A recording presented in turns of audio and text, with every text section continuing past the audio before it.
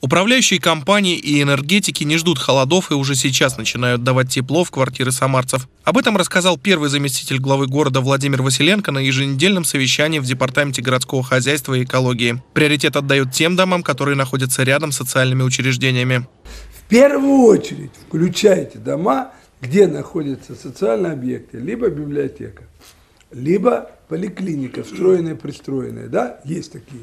Либо там сидит детский садик какой-нибудь. Точечно начинаем включать эти объекты. Дом включаем, и включается там поликлиника. По словам энергетиков, такой подход значительно упрощает процедуру подачи тепла.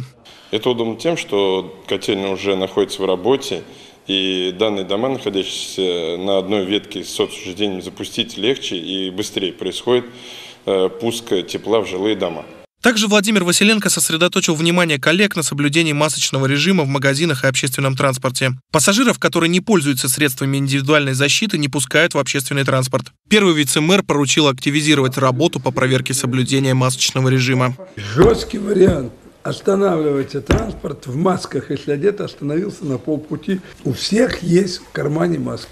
Это касается всех. Подъезды обрабатываем, общественная территория обрабатываем, а транспорт обрабатываем. Напомним, в Самаре продолжают действовать ограничения в связи с пандемией. Соблюдение масочного режима в общественных местах обязательно. Анатолий Головко, Василий Колдашов, Николай Сидоров. События.